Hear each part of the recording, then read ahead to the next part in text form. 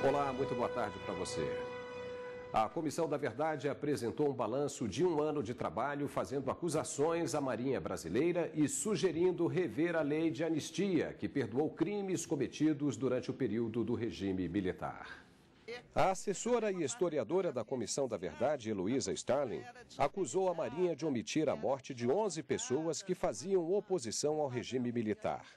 A versão oficial era de que as pessoas estavam desaparecidas ou foragidas.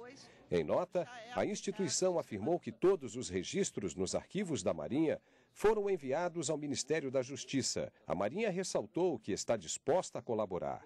Outra conclusão da Comissão da Verdade foi de que houve tortura desde o primeiro ano do regime, em 1964, antes mesmo da luta armada dos grupos de esquerda.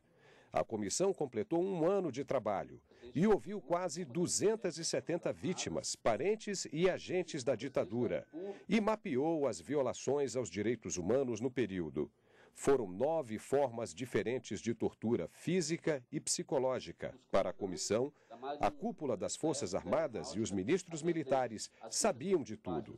Na opinião da coordenadora da comissão, Rosa Cardoso, o trabalho do grupo pode abrir caminho para uma revisão da lei de anistia e para a punição dos envolvidos na tortura.